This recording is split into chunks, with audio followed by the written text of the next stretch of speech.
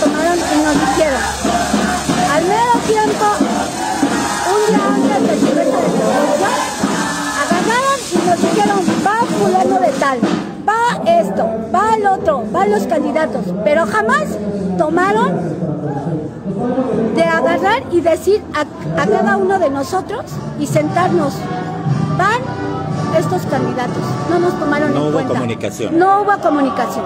Oiga, este, con este anuncio que están haciendo, nos queda un poco de duda. ¿Van a apoyar a algún otro candidato? No vamos a apoyar a un candidato, vamos a echarle con este grupo a Tizapán porque queremos el partido de regreso. Entonces, ¿por quién van a votar el 6 de junio? ¿A quién van a llamar ustedes a votar? Si no lo van a hacer por el PAN y no lo van a hacer por los demás, Vamos a bajar los brazos. van a bajar los brazos. Esto quiere decir que van a estar en la banca, se van a retirar del proceso, no van a apoyar a nadie. No, no vamos a apoyar a nadie. Ok, ¿y esto cree que le pueda causar un problema a la coalición PAN-PRI-PRD? Pues realmente no tanto que, le- que- que ellos volteen a ver que ellos no tienen a toda la gente que dicen tener. Militantes no están a gusto y ellos lo van a ver.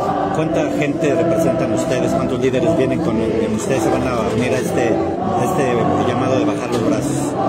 Vienen como, pues sí vienen bastantitos, no tengo la suma, pero sí son bastantes. De muchas colonias, por De, ejemplo. ba- de bastantes colonias, líderes panistas que no están de acuerdo. Ok, ¿esto puede provocar que pierda el PAN la elección?